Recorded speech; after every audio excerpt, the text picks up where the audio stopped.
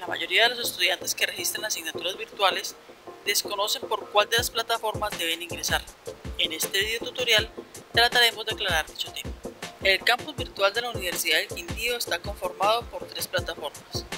Espacios académicos virtuales, recursos de apoyo y la plataforma del programa Ciencias de la Información y la Documentación Bibliotecología y Archivística. En la plataforma de espacios académicos virtuales se encuentran algunas selectivas complementarias como proficiencia en español, proficiencia en idioma extranjero nivel 1, 2 y 4, herramientas web 2.0 para el desempeño profesional, e-learning y electiva empresarial. También podemos encontrar algunos espacios académicos como gerencia estratégica de costos, fundamentos 1, ecología, y seminario de investigación. Además, se encuentran en esta plataforma las pruebas Saber Pro o ECAIS.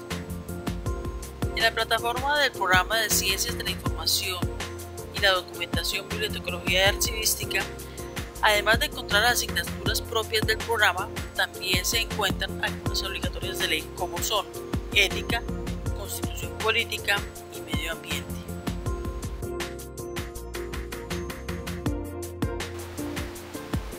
La plataforma Recurso de Apoyo es utilizada por los diferentes programas de la universidad que consideran importante apoyar la orientación de diferentes asignaturas mediante utilización de herramientas como videos, talleres, juegos, foros, entre otros, y que pueden ser desarrollados por los estudiantes en línea en cualquier momento y lugar.